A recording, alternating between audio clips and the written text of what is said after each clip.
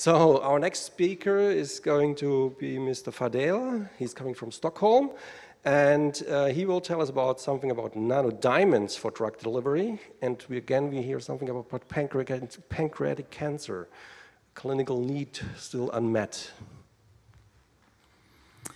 Thank you very much. I, would like to start by thanking the organizers and, and of course, in particular, Beat Löffler for the kind invitation. Um, it's always a pleasure to come to, to Basel and, and attend these CLINAM meetings. What I'd like to do today in this very short presentation is to present some preliminary in vitro results on nanodiamonds um, for drug delivery in, in uh, pancreatic cancer models. And uh, just uh, as a, a, way of brief background, as, as you all know, pancreatic uh, adenocarcinoma remains one of the most difficult to treat cancers. Um, this has been uh, nicely reviewed by Scott McNeil and, and uh, colleagues at USNCL. The reference uh, uh, is seen at the bottom of this slide. And, and uh, the authors of this review nicely covered the different ways in which nanomedicine approaches might be applied to, to address pancreatic cancer treatment in particular, and how uh, such approaches alone or in combination with, with uh, uh, conventional agents might be used to overcome the pathophysiological barriers. Um, the illustration here shows the, the fact that, uh, that we have uh, a stromal fortress, if you like, surrounding the tumor cells, and we heard uh, previously about this in previous talks. Just to give one example of, of the promising use of nanomedicine in pancreatic cancer, um, this is the uh, paper cited at the uh, bottom left of this slide from uh, Professor Andre Nel and, and, other colleagues at UCLA, uh, just published in JCI, in which uh, uh, indeed a combination of a tumor-penetrating peptide plus, in this case, um, lipid bilayer mesoporous silica particles were used um, to deliver therapy in pancreatic cancer. Um, the focus of my talk is, as I said, on nanodiamonds, and this has been nicely reviewed in Science Advances a few years ago by Dean Ho and colleagues. The reference is at the bottom of this slide. Nanodiamonds have several um, very interesting properties that make them potentially very promising materials in, in nanomedicine.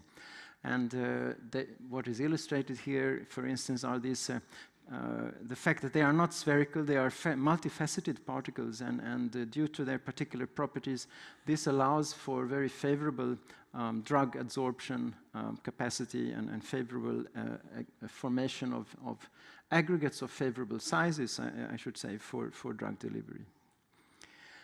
Um, and this is a, a, cartoon from a commentary in Science Translational Medicine. This is already five years ago now. Um, this was a commentary on a paper from Dean Ho and colleagues.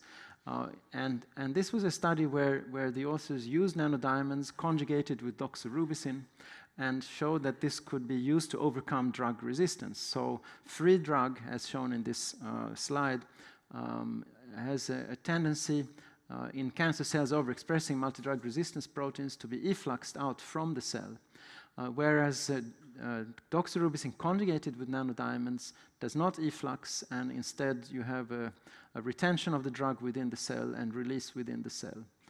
Um, the authors of this study used uh, animal models of both uh, liver cancer and breast cancer, and we were inspired by these studies and also um, by the fact that our toxicity screening of multiple different nanomaterials showed that nanodiamonds were um, by far the, the um, least cytotoxic of all the materials we have tested to date, in fact. So uh, the hypothesis behind our study, uh, as stated here, is to see whether we could use nanodiamonds conjugated to, to anti-cancer drugs uh, for treatment in pancreatic cancer. And what we decided to do is to compare conventional 2D cell cultures with uh, 3D spheroids, tumor spheroids of pancreatic cancer cells. Um, and as I said, the background really was the uh, initial toxicity screening that I will um, mention uh, very shortly. So uh, the cell lines that we used were BXPC3, which is a chemosensitive cell line, and PANC1, um, with KRAS mutations, which is a chemo-resistant cell line. We use three different formulations of nanodiamonds with different surface functional groups, including these pegylated nanodiamonds. These uh, materials were produced by the company Plasmachem, um, and both uh, my lab and also Plasmachem uh, were partners of this EU project, FP7 project Nano Solutions. Um, these nanodiamonds were, were included in a large panel of different nanomaterials that we, we had screened uh, in that project. These are TEM images showing um, partially the, showing the, the tumor spheroids of BXPC3 cells, um, more organized, uh, uh, and the PANC1 tumor spheroids somewhat more disorganized uh, um, as, uh, architecture, as you can see. To start off then with the, the screening uh, for cytotoxicity, we used human monocyte-derived macrophages, as shown here, or the THP1 monocytic uh, cell line, as shown here. Uh, we used a range of different concentrations up to 100 microgram per ml. There's no toxicity for either of the three nanodiamonds in either of these two cell types. Um, this is a, a cluster diagram uh, based on profiling of cytokines and chemokines. And, and so um, these are the more than, more than 30 different nanomaterials we had tested in the Nanosolutions project, including the nanodiamonds down here. Um, but uh, this panel included multi-walled carbon nanotubes, uh, quantum dots, uh, gold, silver, and, and, uh, and etc., and nanodiamonds. We then screened for more than 20 different cytokines and chemokines, and, and the bottom line really is that uh, the nanodiamonds didn't trigger any pro-inflammatory cytokines whatsoever. These are data from THP1 cells. We have um, similar data for the primary cells. We also decided to test whether uh, there was any difference in cytotoxicity in presence or absence of serum. Now, primary macrophages are not the best model uh, to do this, but we used a, another cell line, PLB985, which can be um, differentiated into macrophage-like cells. These were grown without um, serum in, in the cell culture medium or in the presence of 10% serum. And, and, as you can see at the highest concentrations, 50 and, and in particular at 100 microgram per ml, there is uh, cytotoxicity for, for uh, the nanodiamonds, that, but there are differences between the three nanodiamonds.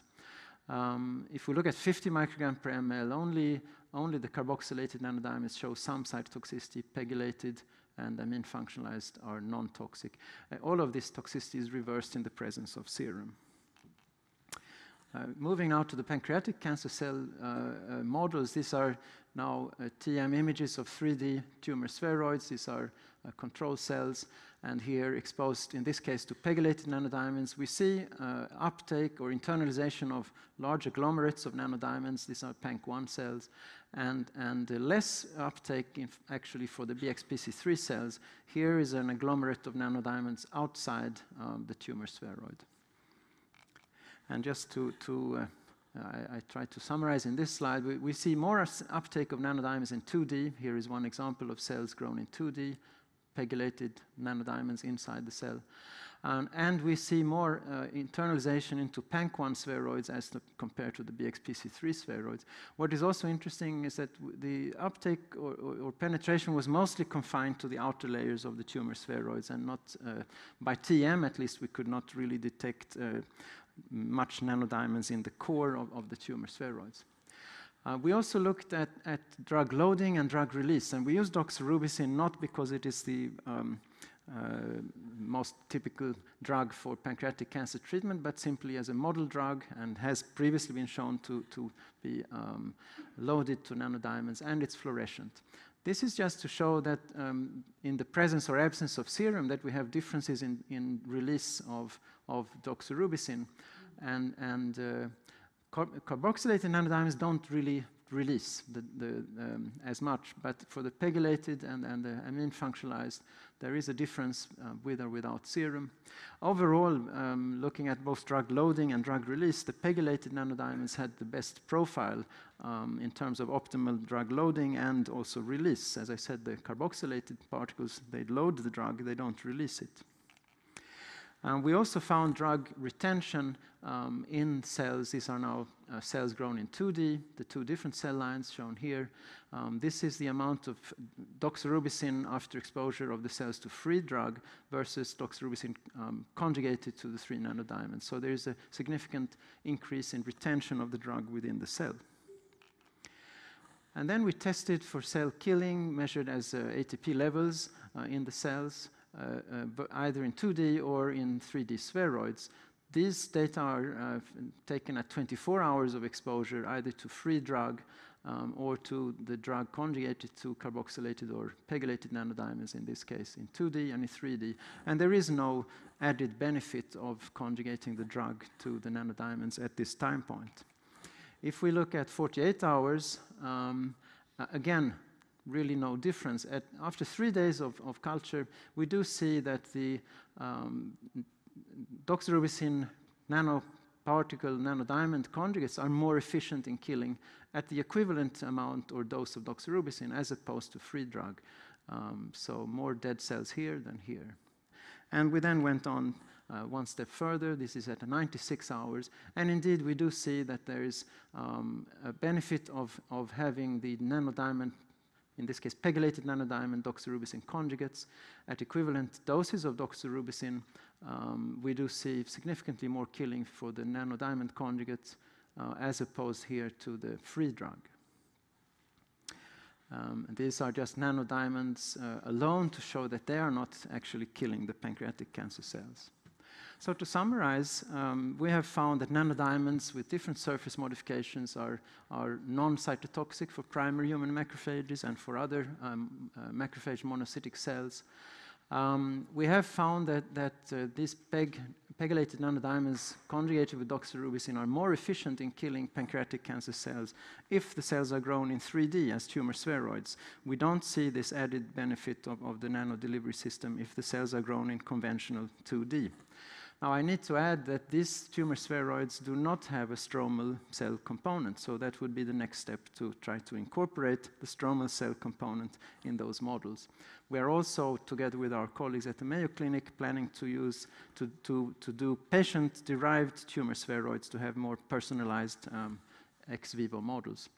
We think that this uh, uh, effect that we have seen could be due to uh, in increased penetration, if not all the way into the core, but nevertheless penetration into the spheroid, allowing for a sustained release of the drug.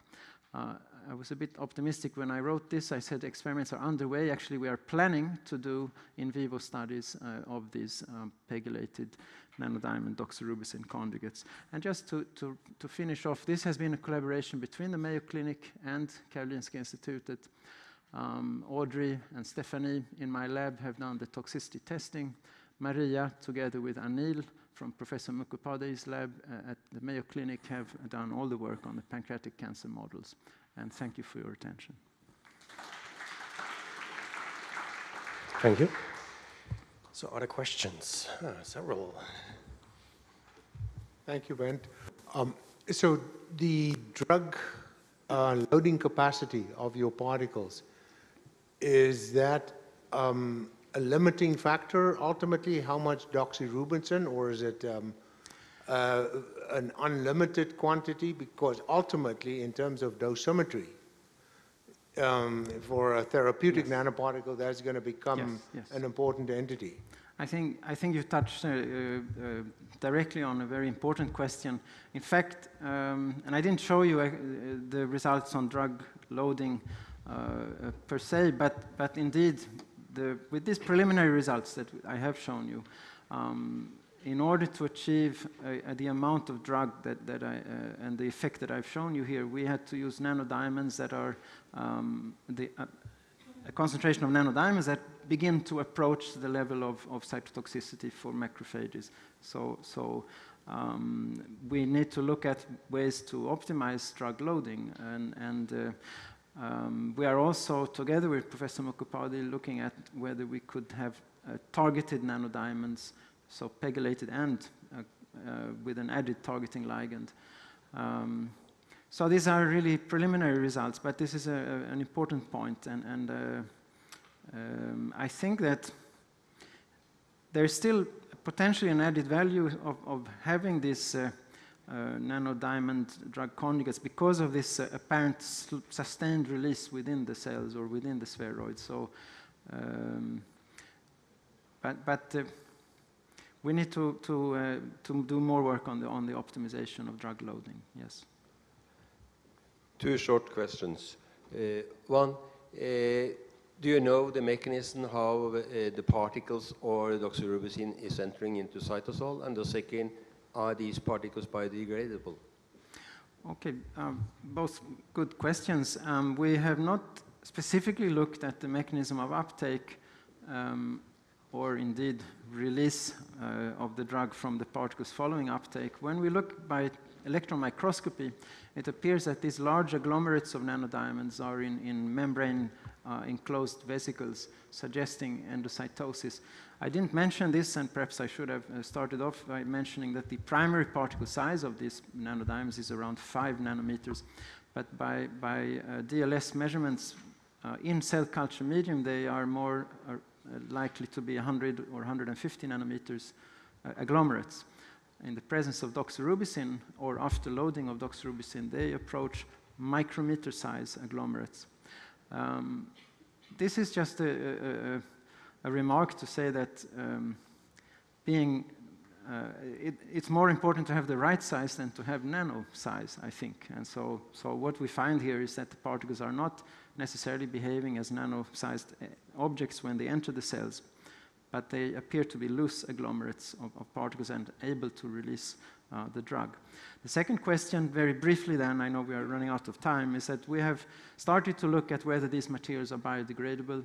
Um, we have not yet been able to master the Raman spectroscopy of nanodiamonds in cells because of disturbances um, uh, or overlap with other, with other signals. But we have shown that both carbon nanotubes and graphene oxide is degradable. Um, it will be very interesting to see if nanodiamonds are degradable. Perhaps diamonds are not forever. Yeah, over here. Um, I've come along to this talk because some years ago I was traveling in Eastern Europe and uh, I heard a presentation really of some work very similar to this, in fact, slightly different chemistry. Um, more intriguingly, they'd actually put this into man uh, and uh, I won't say what country it was in, but uh, probably uh, you might be better get imagine. But they claim some very potent anti-cancer effects in man. Uh, I think, if my memory is right, in ovarian cancer. And I was intrigued by this, but also dismissive, if you see what I mean. I wasn't sure whether this was real data or not. Mm. And uh, I don't know whether you'd uh, come across this data and whether perhaps you might be interested in taking, I still have some contact from Christmas, every Christmas from these, this team, yes. whether you'd be interested in so, evaluating their so material. The, I, I, would be interested in taking a, look, uh, taking a look. I'm not familiar with the data. Um, the uh, original description of nanodiamonds was made by Soviet scientists Correct. at the time. Correct. And, and this is not exactly nanodiamonds. I'm yes. forgetting the chemistry. It's close. Yes. Um, and I know how it's made. These nanodiamonds, in which I also didn't mention, are produced by detonation. So yeah, so this, this material is also made yes. by detonation. So, so um, but what I can say is that uh, having over the last mm, well several years looked at, I think in my lab probably in excess of 200 different nanoparticle formulations. These are these nanodiamonds are surprisingly inert and non-toxic. Yeah, yeah. Um, and they seem to, to really have the, uh, the effects that I described, which is to retain mm. the drug within the cells and, and, and yet not produce toxicity in and of themselves. I would be very interested to see. I, to I will try and make a, a, link through me, yes, and yes. Uh, we, uh, it's, an, it's a hook I've never managed to close, really, yes, you know, yes. link, and I was very intrigued. Thank you very Thank much. You.